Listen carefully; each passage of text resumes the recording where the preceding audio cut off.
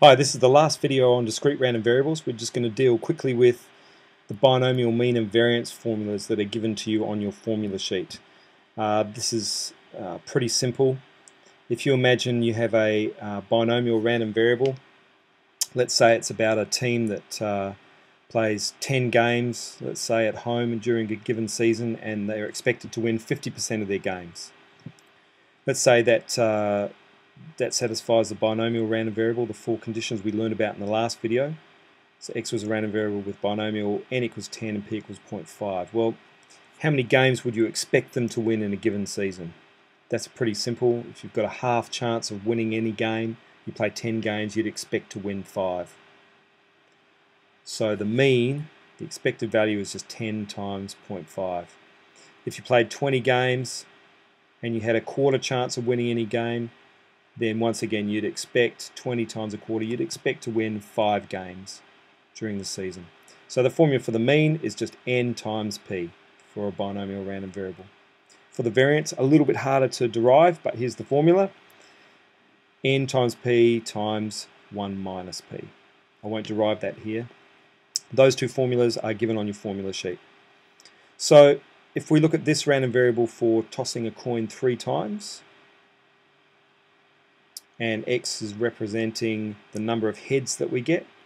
To work out the mean and variance, we could go through the process that I showed you earlier.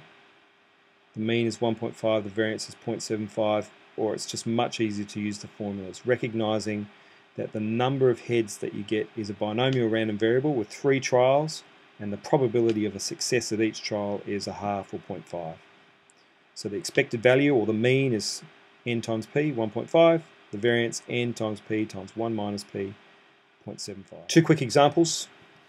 We've got four blue balls, six white balls in a, in a bag. We're going to th draw three balls at random and with replacement. So the binomial distribution is works fine here because we're replacing the balls each time, so the probability would remain constant. So the values of n and p, n equals 3, and P is 4 tenths. The number of blue balls, there's 4 blue balls and 10 total, so 0.4.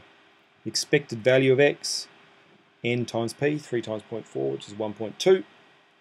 And the variance of X, N times P times 1 minus P, 0.72. The standard deviation of X is the square root of the variance, which is 0.849. Last example, the random variable x has a binomial distribution. We've got a mean and variance, and we want to find the values of n and p. So we're kind of going backwards here. The way to do this is by solving these two equations simultaneously. The mean n times p is 18. The variance n times p times 1 minus p is 12.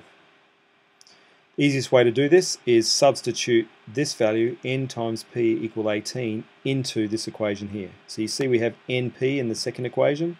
Replace that with 18 which gives us this equation here. Hopefully you can see how I did that. So I've just substituted in the value of 18 for NP in the second equation. I now divide both sides by 18. You could expand the brackets here, but it's easier to divide by 18. So 1 minus P is 2 thirds, so P must be 1 third.